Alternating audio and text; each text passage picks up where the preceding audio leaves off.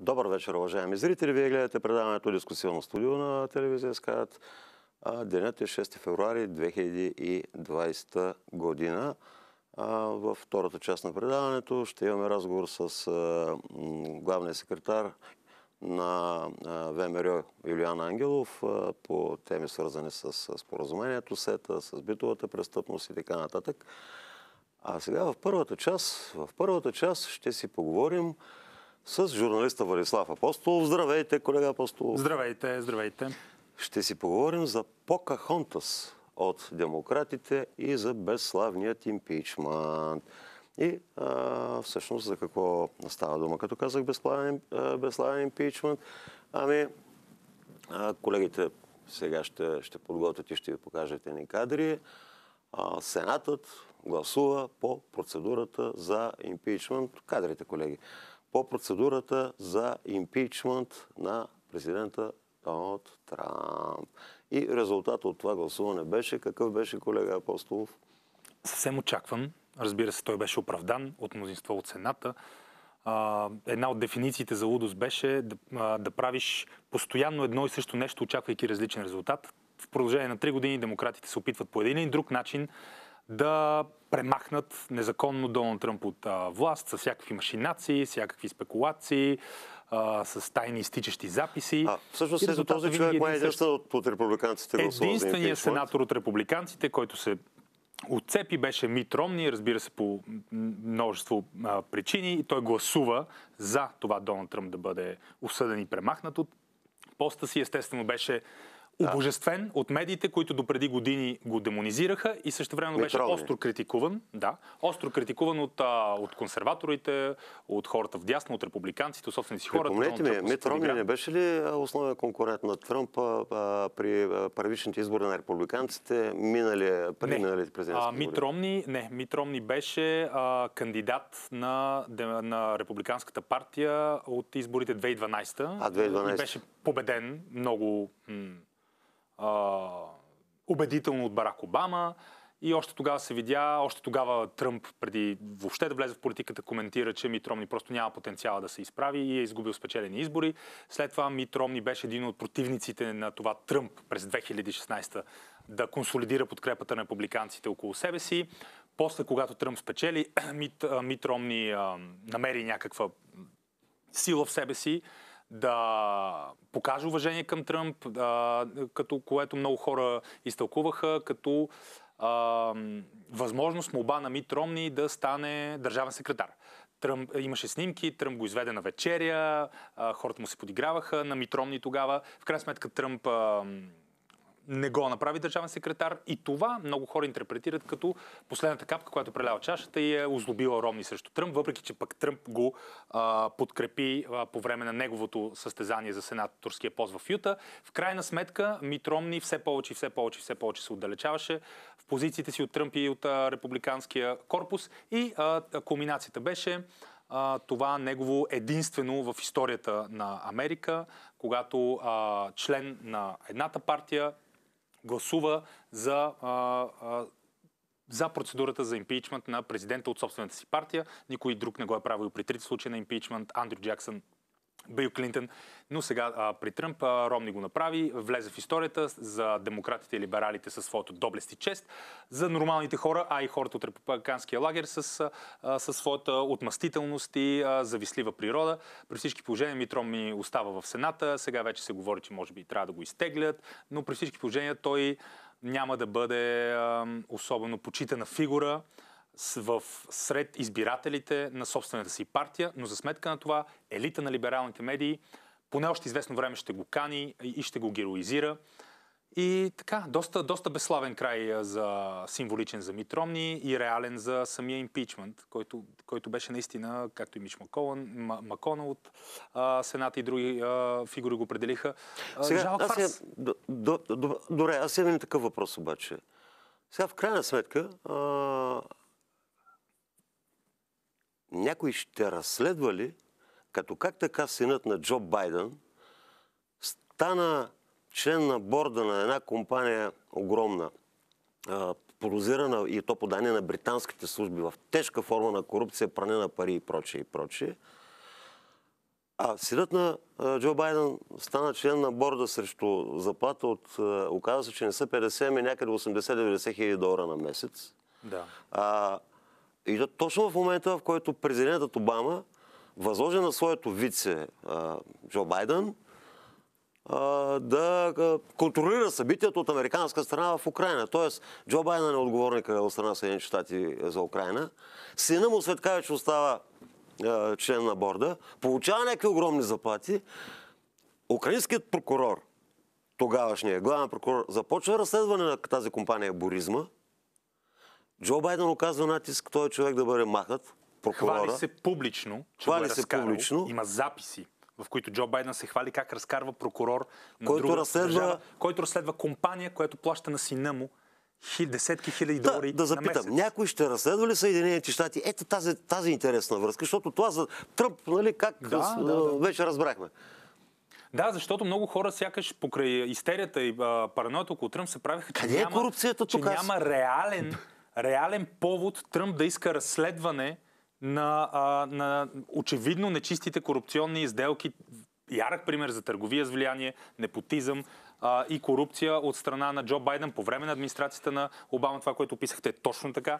И а, сега започва разследване а, и в Сената а, за връзките на Хънтър Байден, който беше третиран сякаш някакво 12 годишно дете и не трябва да се напада Хънтър е синчето на политиците. Джо Байден, нали? Да, да, да. А това е Хъ- Хънтър Байден, който нямал никакъв опит в енергийния бизнес, не е говорил езика, имал е тежки проблеми, лични проблеми, проблеми с наркотици преди това. Със сигурност, меко казано, спорна фигура.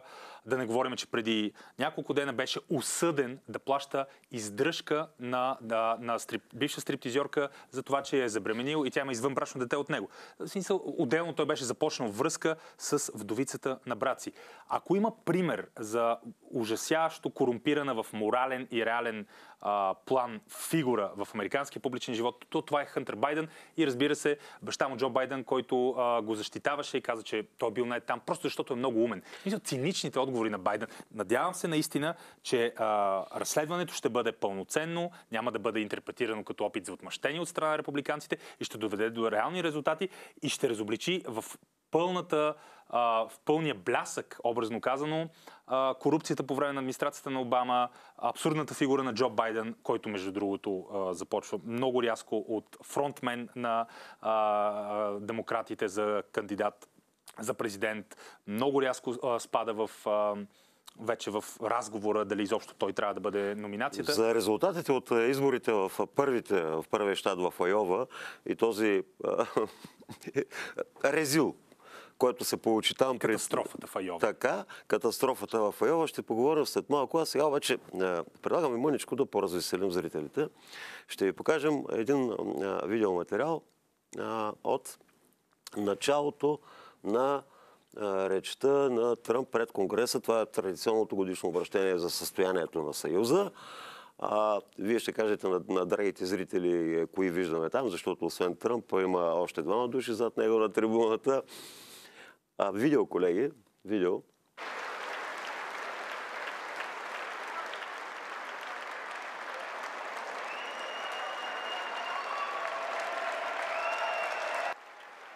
Наси Пелоси, която е Сега, нека зрителите да забележат внимателно сега какво се получава така.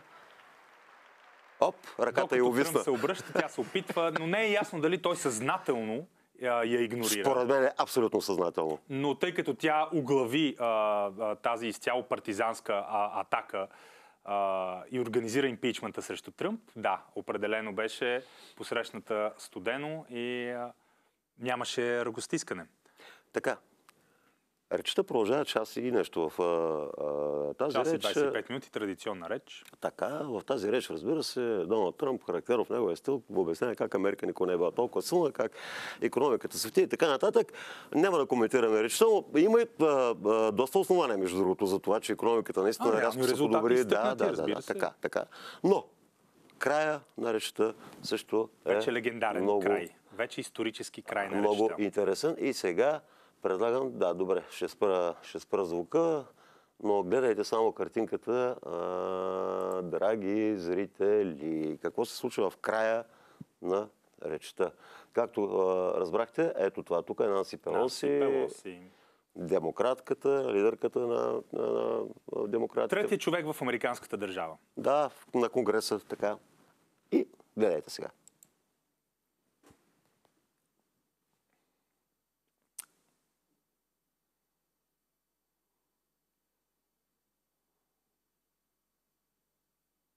Нанси Пелоси демонстративно скъса речта на Доналд Тръмп. Между другото в тази реч, в която бяха изписани е, и бяха назовани имената на герои от войната, на ветерани, на малко чернокожа момиченце, което получава стипендия, имаше трогателни, сантиментални истории. Символично Нанси Пелоси скъса, скъса всичко това. Естествено безпредседентен акт.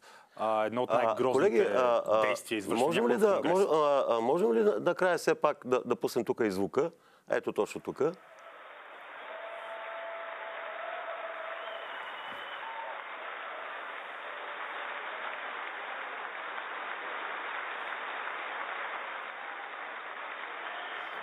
Чу се, казва Тенкил, благодаря. Овациите, Пелоси с... А, вижте и физиономията. Това е просто е, е класика жанра. А ние после твърдим, че нашите политици Отровен били не знам какви са. от отчаяние и гняв беше изписан върху физиономията на Нанси Пелоси. Кадри за историята. Много хора коментираха, че точно в този момент беше осигурено преизбирането на Тръмп, триумфа на републиканците и поредното а, унижение за демократите, които наистина са в една а, изключително отрицателна спирала в последните Появи се, се, седмици. появи се, появиха се веднага а, хумористични колажи. Сега ще видим един от тях. Покажете картинката, колеги. Картинката, снимчетата, Нанси Пелоси. О, да, а? разбира се, разбира се. Буквално следващия ден Тръмп беше оправдан, очаквано с мнозинство в Сената. И символично тя всъщност къса импичмента, да. Сякаш къса импичмента. Между другото, много от а, хора, които я защитаваха и казаха, че това е акт на съпротива и казаха, че тя е страхотна, кралицата на Конгреса, така трябваше да направи женско царство, girl power а, коментирах, че това е спонтанен акт на съпротива от страна на Нанси Пелоси. След това се появиха кадри, които още по-унизително се вижда как тя е предварително по време на речта на Тръмп се опитвала леко да скъса листата, за да, за да провери и буквално а, а, репетира как да ги скъса а, а, демонстративно а, на то, то се видя на тези кадри, да? Именно. Тоест няма нищо спонтанно. Тя решава изведнъж, след като е чува толкова много лъжи да скъса речта. През цялото време тя е мислила само как на финала тя ще скъса речта, за да, за да задоволи апетитите на най-крайно левите, най-екстремните крила в собствената си партия, в собствената си електорална база, bază за които няма нищо по-важно на света от това да, да премахнат Тръмп и да се разказват, демонстрират като смъртни врагове на Доналд Тръмп. А сега да отидем към Покахонтас. Разбира се, Покахонтас, е, Елизабет Уорън. Това е ваша, ваша публикация, в която се казва проблемите пред Покахонтас. Аре, колеги, да припомня на драгите зрители, кое е всъщност Покахонтас, истинската Покахонтас. Имаме там едно откъсче от, от трейлер на, на, на филма Покахонтас. покажете го, като тече. Владислав Апостолов, който впрочем е киножурналист известен, ще ни разкаже какво виждаме след това. Покахонтас, коя е тя, каква е тя? Разбира се, тя е много известна индианка, която при първите заселвания на западните, на европейските, английските войници започва връзка с според легендите, според фолклора, започва връзка с американски войник Джон Смит и става символ на отношенията между местното корено население на континента. Че могат в мир и любов да живеят, именно, обаче, ови, завършват трагично. Така. Точно така, да. да. И Покахонтас вече става в, отеква в поп-културата и се смятат за нещо като символ и на, на, на индианското минало на континента. Тя е красива, млада индианка. Сега, какво още има обаче между тази красива актриса, която видяхме, която не знам дали има индианска или някаква друга кръв, но очевидно, с, с ето тази дама. Елизабет Уорън. Елизабет Уорън, бяла, руса, синелка. Най-бялата бяла жена в Америка. Защо Покахонтас? Какво, а... какво ще имат? Така, Елизабет Уорън, въпреки че е една от най-белите и привилегировани жени в Америка, още когато започва своята академична кариера, решава да се представя за а, м, индианка. За индианка? Има индианско ДНК, а, а, че а, нейното културно наследство е в а, това защитено мълцинство. А, пише рецепти за индиан, индиански рецепти, за индиански кулинарни колекции.